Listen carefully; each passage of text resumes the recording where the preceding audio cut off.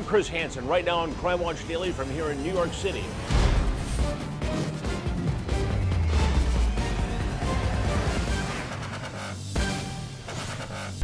A holiday weekend ends with a young mother shot dead. You took something from me that is like my backbone, my heart and soul, my best friend. Her husband admits he fired the gun. I shot that straight up in the air. But the ex-Marine says she was hit by accident. If he is the experienced marksman, he should know how to handle a firearm in a responsible manner. Now, after a controversial trial, prosecutors trying to prove he murdered his wife. Did he get away with murder? This will haunt me for the rest of my life.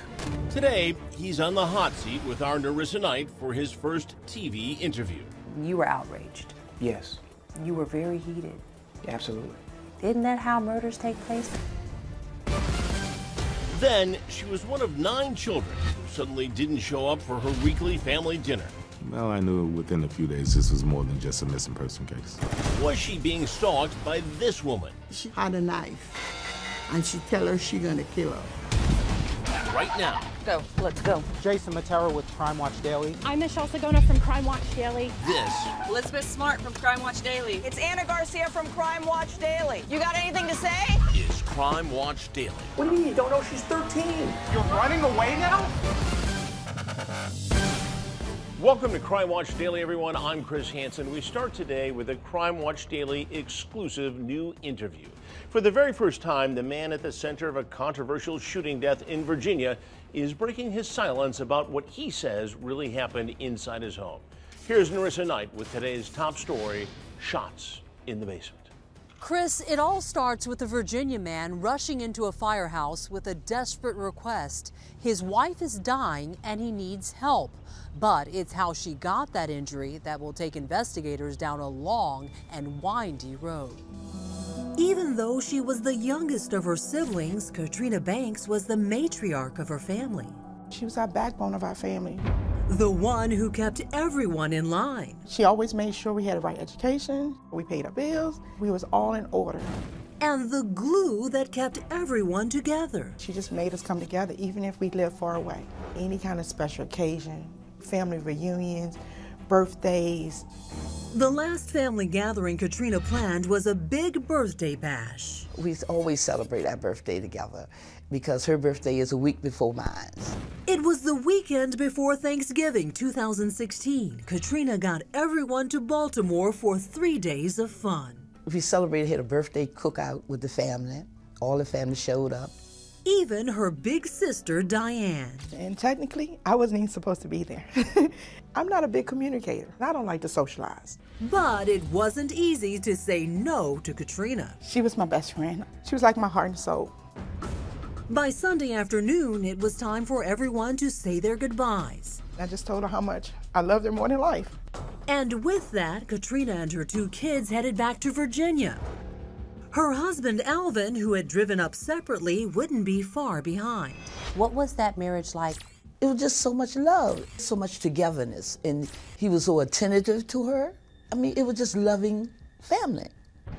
Alvin, a former Marine, was a very successful RV salesman in Richmond. Katrina, a nurse who had just earned her master's degree.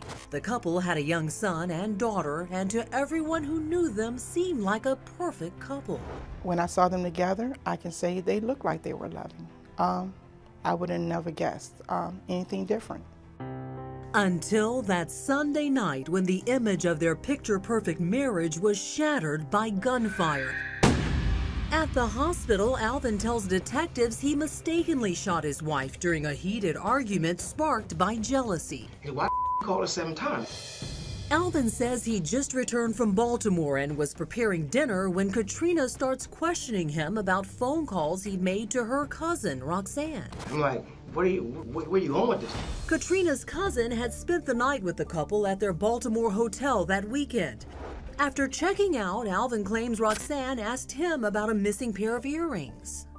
She said, no, you called her seven times. I'm like, Trina, I said, was driving back, we lost connection. She called me back, I called her back, and she kept pushing. And I was like, I said, leave it alone. I said, there's nothing going on.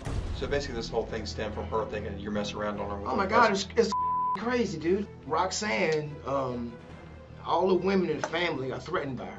You know, I mean, she's a beautiful woman. Alvin insists he wasn't messing around with Roxanne and says when he couldn't convince Katrina, the fight got physical. So I picked up a, TV tray. I threw it downstairs, making sure I didn't hit her. Bam! I was like, stop. You, you, you're pissing me off. When the yelling continued, he grabbed his gun. So I figured if I grabbed my 45 and shot a couple rounds off in the air, then that will make her shut the gunshots did more than just shut Katrina up. One of five bullets fired struck her in the shoulder. Rather than call 911, Alvin ran to a nearby fire station for help. I said, dude, I shot my wife. I shot my wife. So he comes out and he's like, what? I said, I shot my wife. I said, let's go, let's go. Come on, let's go, let's go, let's go. But rescuers arrived too late to save Katrina. Detectives break the devastating news during their interrogation. Your wife has passed. I'm not going to not tell you, man. It would be right. Okay? How? That's what we're here to find out. A single bullet had entered Katrina's shoulder, traveled through her lungs and spine before exiting her body. Did you ever in your wildest dreams think that something like this would happen? No, I would never. Especially less than 24 hours after seeing her. No. Diane had just gotten into bed when detectives called with the tragic news. They told me my sister was gone, and all I could think about, no, she's not, because I had just talked to her. She says Katrina had texted her a little earlier to say she'd made it home safely. And I hung the phone up because I thought I was dreaming. The detective called and he said, Don't hang up. It's not a dream. This is real. Your sister's gone.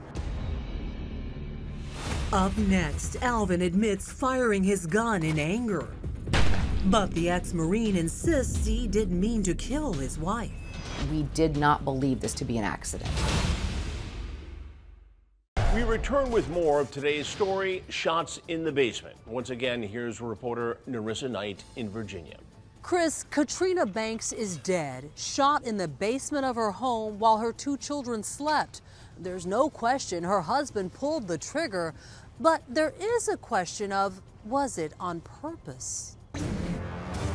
Shortly after Katrina Banks was shot dead by her husband, he admits to cops he pulled the trigger during a heated argument. So I went bop, bop, bop. I think it was three. And I noticed it got, it got quiet. Ironically, just days before the tragic event, Alvin was photographed with the gun holstered around his shoulder and a t-shirt reading, keep calm. As he's grilled by cops at the hospital, Alvin Banks is anything but calm, insisting the killing was an accident, claiming the bullet that ended Katrina's life was only intended to end their argument. Could you see her when you were shooting the rounds? Could you? Yeah, I was looking at her. I was shooting straight up because it was just a, a getaway, stop, bang. Investigators weren't buying it. Alvin's hot-headed moment would soon carry serious consequences. Mr. Banks was arrested the night of the incident and charged with second degree murder.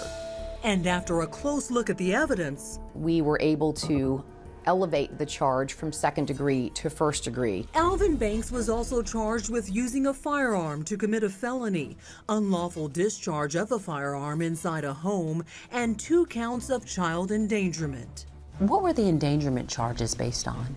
The idea that these children were in the home, uh, in close proximity to their mother at the time that she was killed. Charges his own lawyers knew would be a challenge to fight.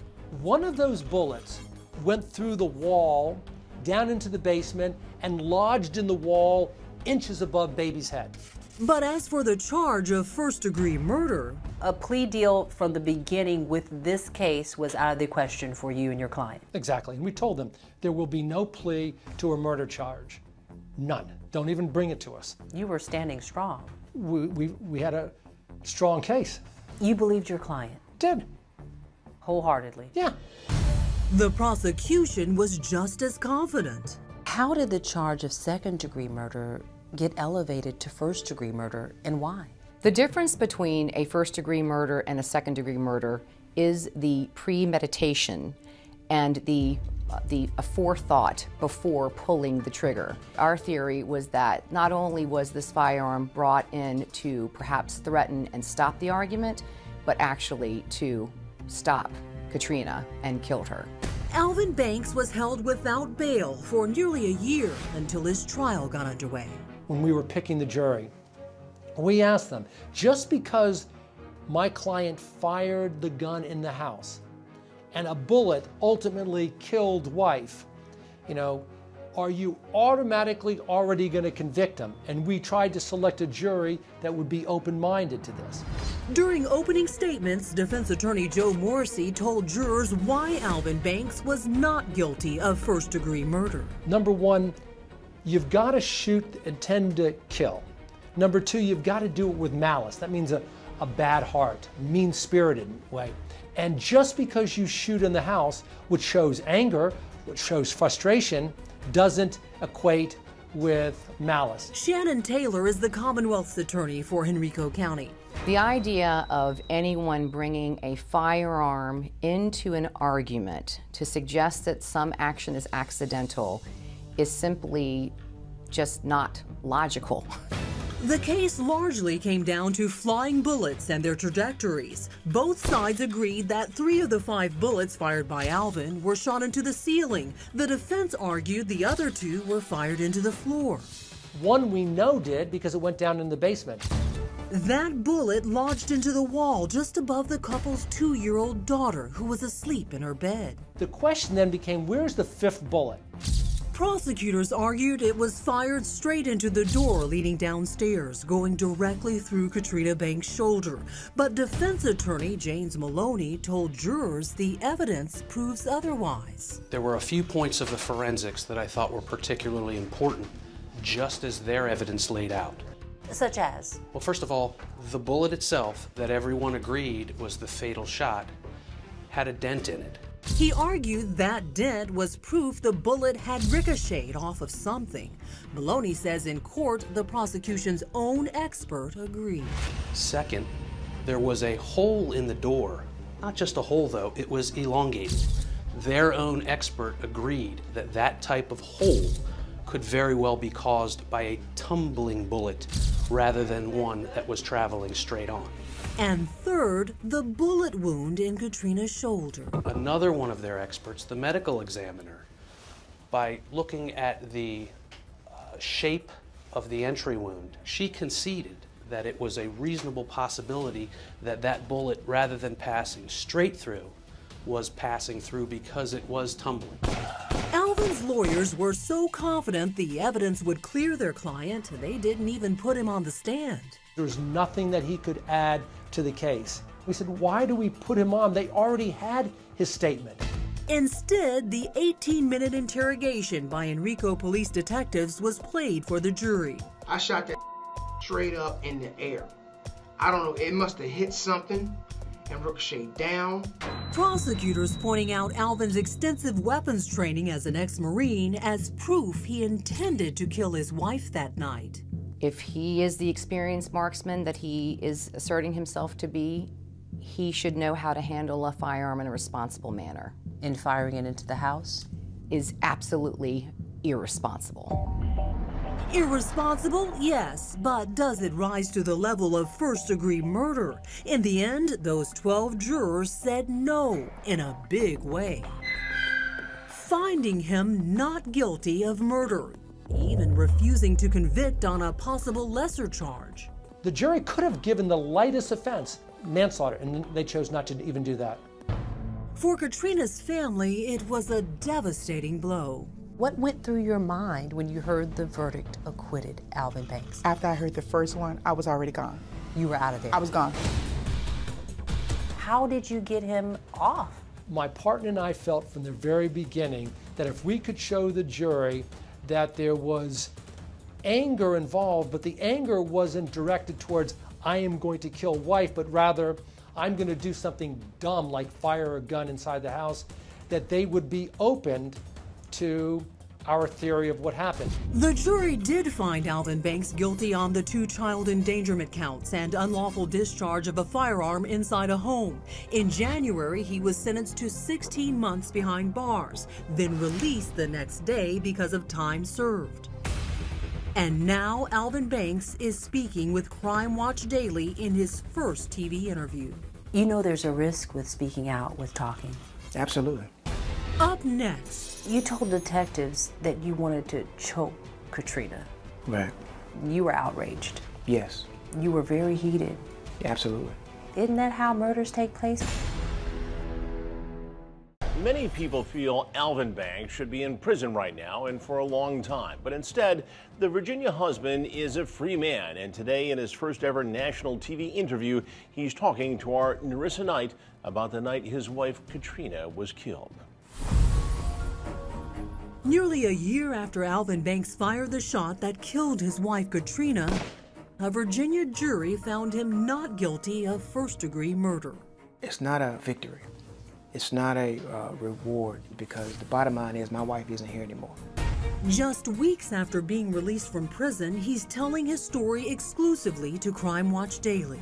And why are you speaking out? Because um, after talking to a few of my friends, they, they have no idea what really happened. Um, and something as sensitive as this is, I wanted uh, everyone to know exactly what happened.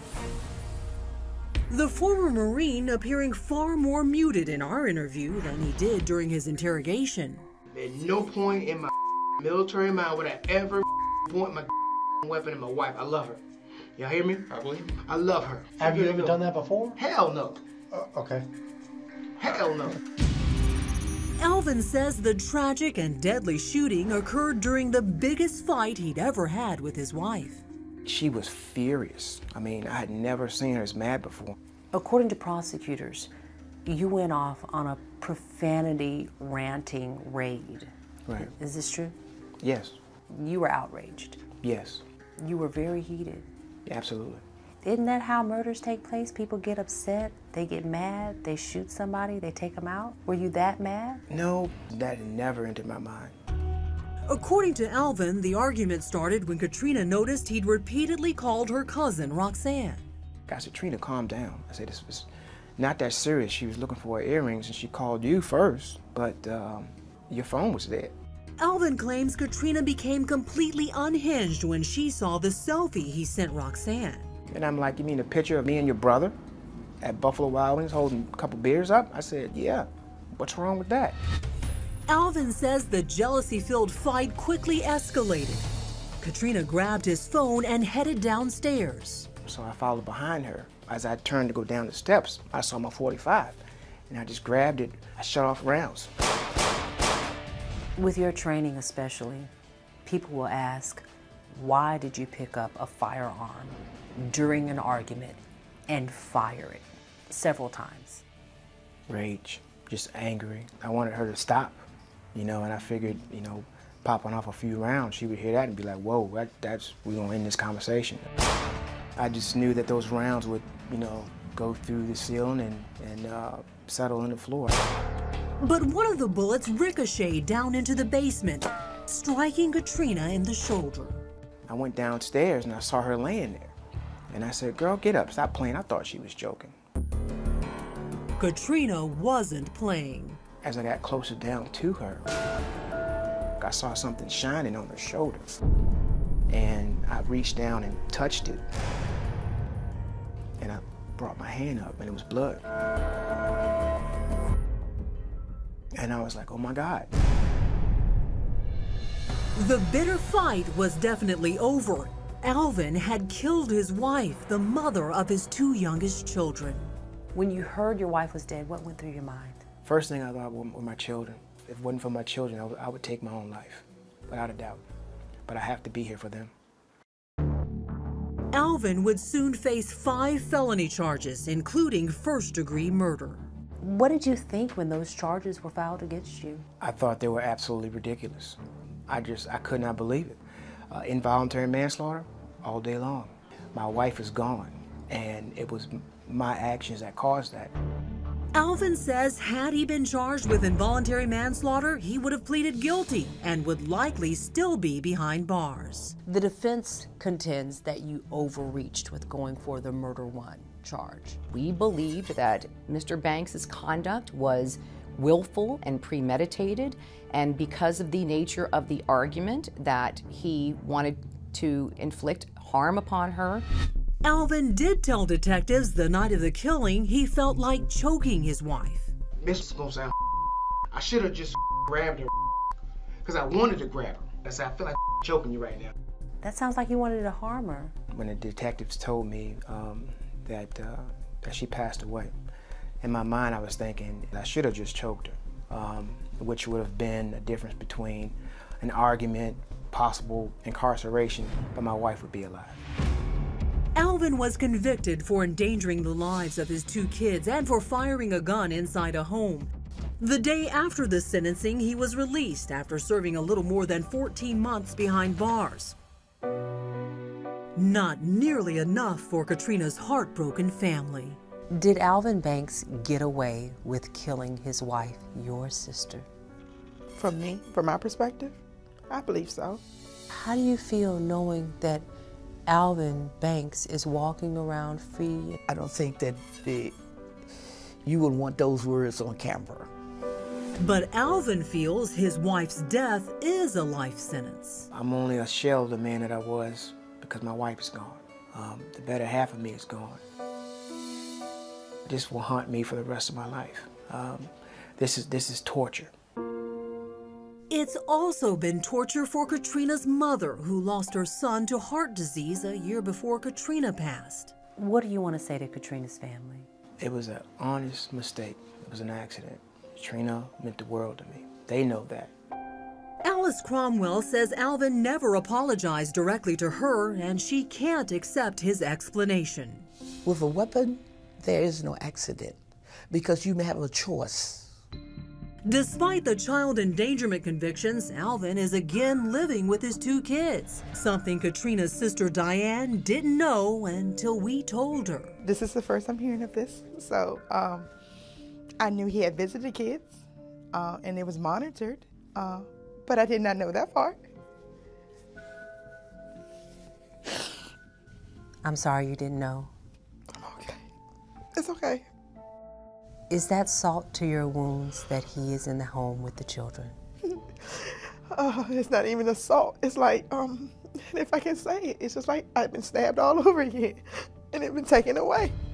You have your kids, they're with you, but you were convicted of endangering their life.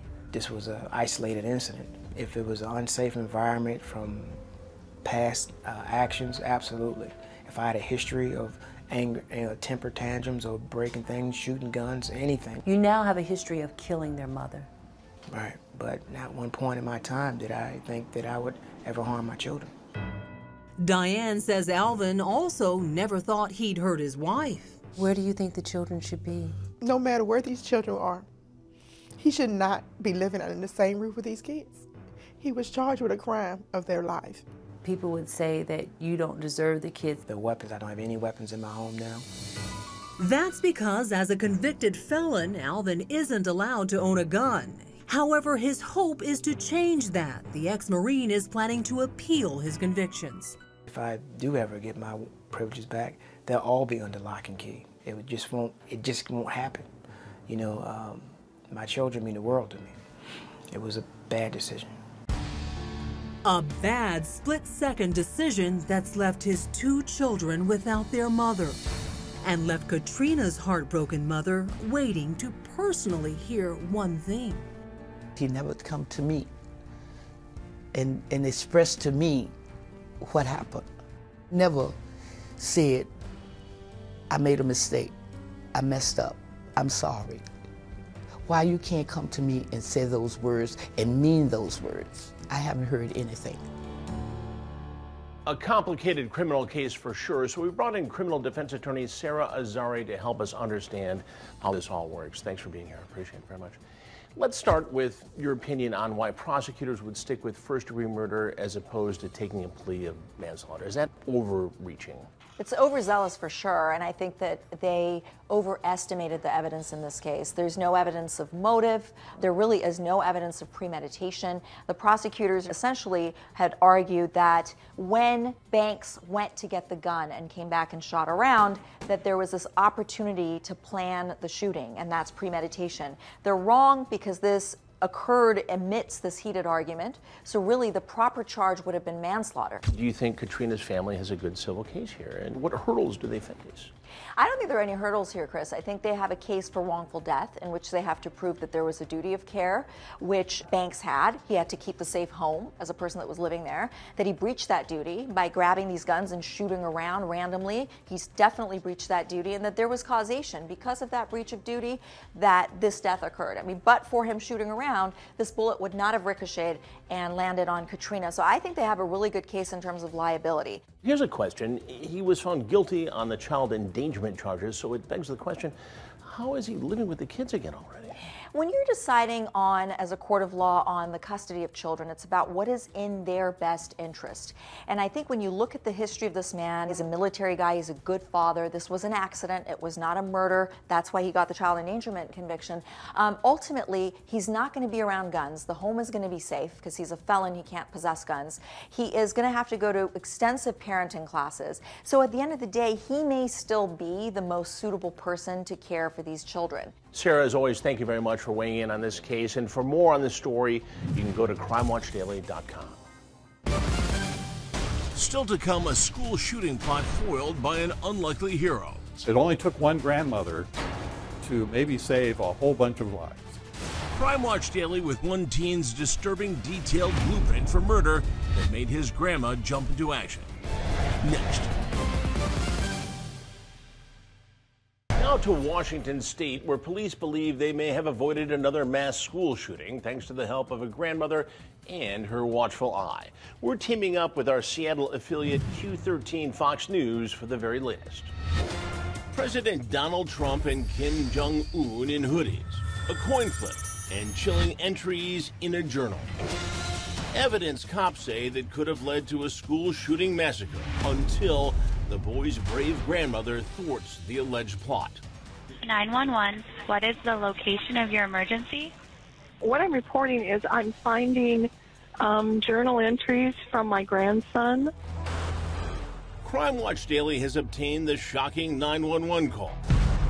The grandmother is turning in her own grandson after she claims she found those disturbing entries in his journal. He's planning to um, have a mass shooting at one of the high schools. His name is Joshua Alexander O'Connor, an 18 year old high school student from Everett, Washington, about 30 miles north of Seattle. It only took one grandmother to maybe save a whole bunch of lives.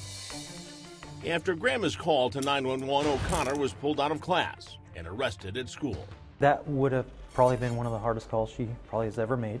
Um, but I think that the content of the journal and some of the other evidence that was in the house was enough that she was alarmed enough. The arrest coming just one day before the deadly mass shooting at the Marjory Stoneman Douglas High School in Parkland, Florida, where 17 people died.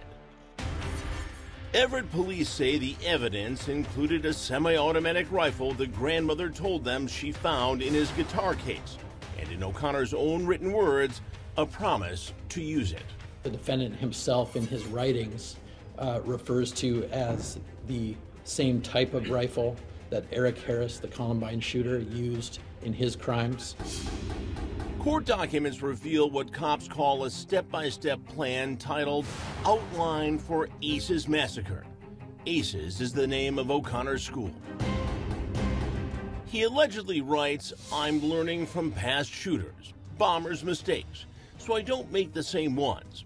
I need to get the biggest fatality number I possibly can. Mow kids down in hallway and gym. Can't wait to walk into that class and blow all those expletives away. The defendant presents a substantial danger. Cops say O'Connor planned the shooting for April 19th, the anniversary of the bombing of the federal building in Oklahoma City. The next day, April 20th, is the anniversary of the Columbine school shooting in Colorado. And it's been widely reported that O'Connor even once dressed up as Columbine shooter Eric Harris as an assignment for acting class. This was a student that uh, nobody would have suspected. Police say O'Connor couldn't decide in which school to launch his deadly attack his old school or his current one, ACES Alternative High School. So he flipped a coin. The court documents called it the coin flip of fate, and ACES won the flip. Fellow student Colton Luquette tells our Seattle affiliate KCPQ the alleged plot was never on his radar. We would just sit in third period together and just listen to music. Colton's mom, Crystal, is understandably freaked out. My heart goes out to that woman, and I'm grateful to her because she saved all those kids' lives. Cops say during a search of the house O'Connor shared with his grandmother, they found two inert grenades and plans to fill them with black powder to make them explosive again. And they say O'Connor also planned to use pressure cooker bombs at the school. Bombs that are similar to the ones used at the deadly Boston Marathon attack back in 2013. Cops say during the search, they also found evidence linking him to the armed robbery of a convenience store a day earlier. Take a look at this just released surveillance video. Cops say that's O'Connor in a Kim Jong un mask holding a rifle. His alleged accomplice, a classmate named Marquez Daniel. Detectives say Daniel is wearing a Donald Trump mask and grabbing the cash. The prosecutor says the purpose of the alleged robbery was to get money to buy more guns and ammo. I would also argue that the robbery itself is a substantial step uh, in an effort to raise funds. O'Connor has been charged with attempted first degree murder with a firearm, first degree robbery, and possession of a bomb or explosive device with intent to use for unlawful purpose. He pleaded not guilty there's no ammunition. There's nothing else to suggest other than the defendant's statements in his journal. The judge set bail at $5 million. She saved countless lives here, if not even her grandson's. I mean, who would have known what would have happened to him if he actually carried it out?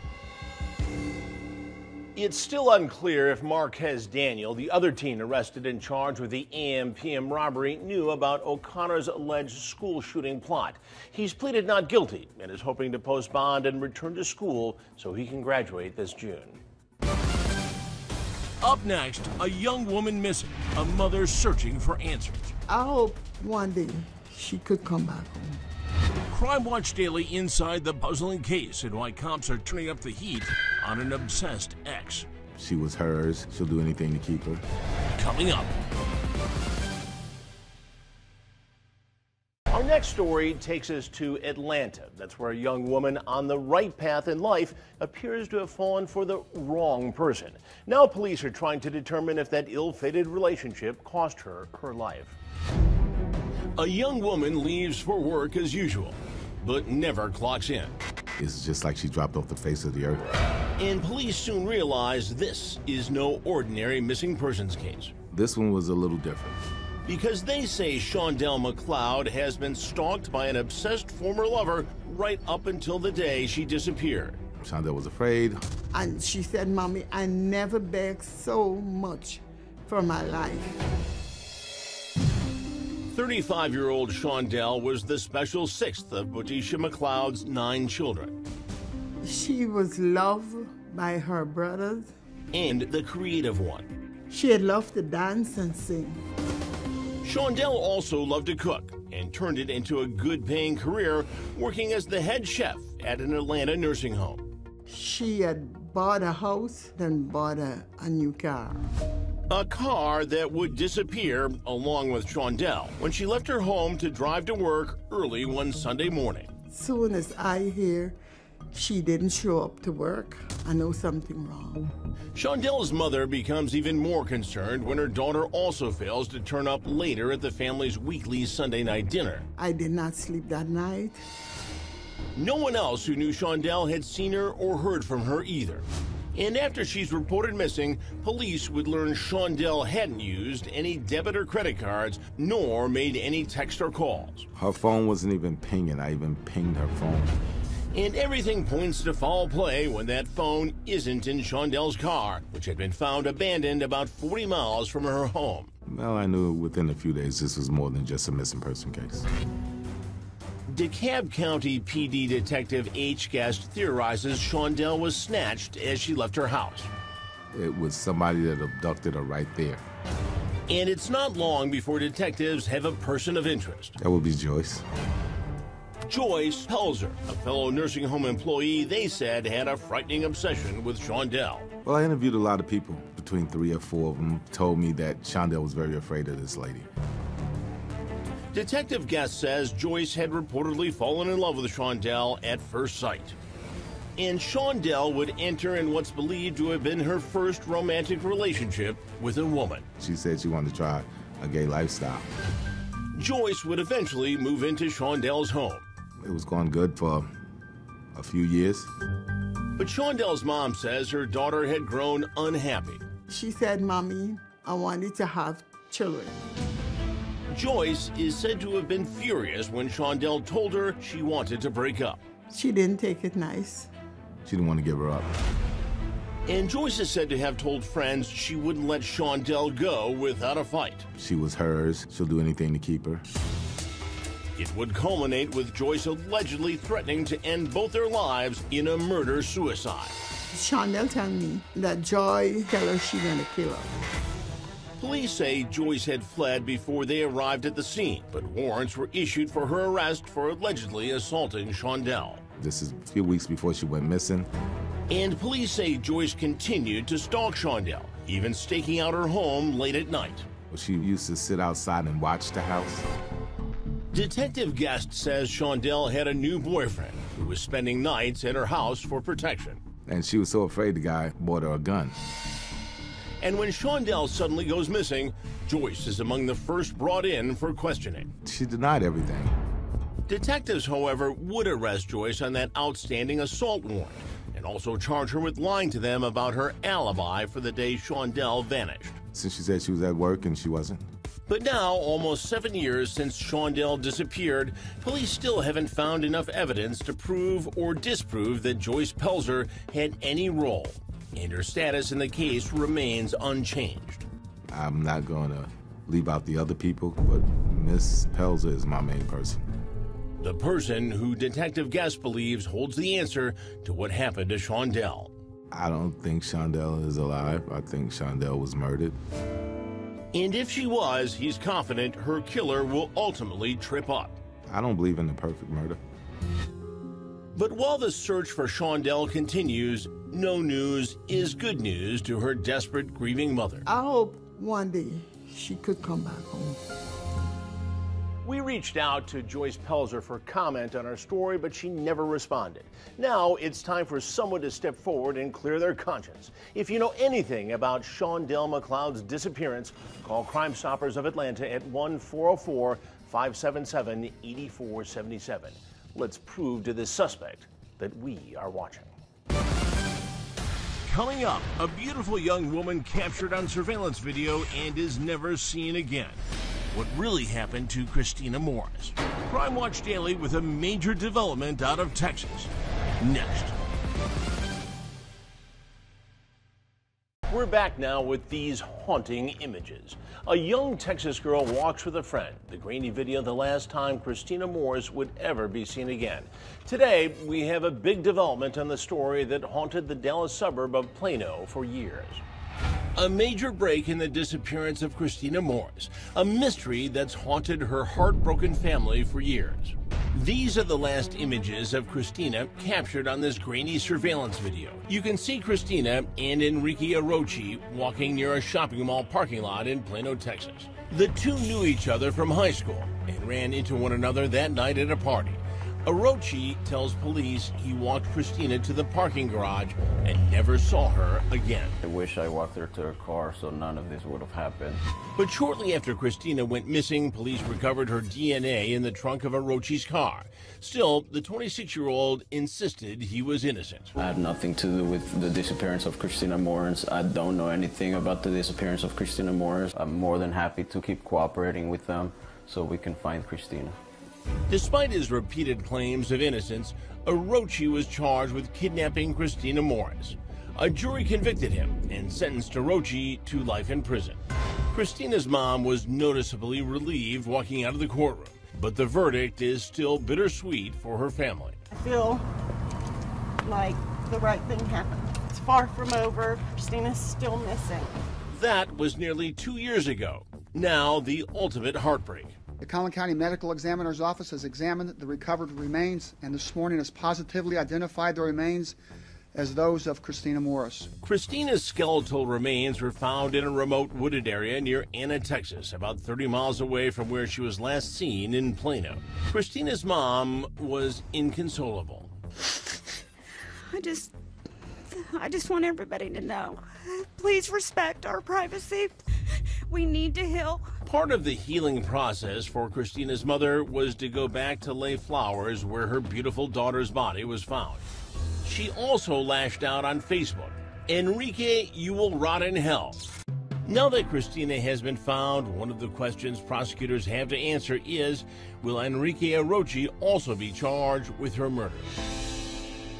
Arochi is now eligible for parole in 2044. If he's tried and convicted of murder, the chances of him ever getting out of prison would be erased.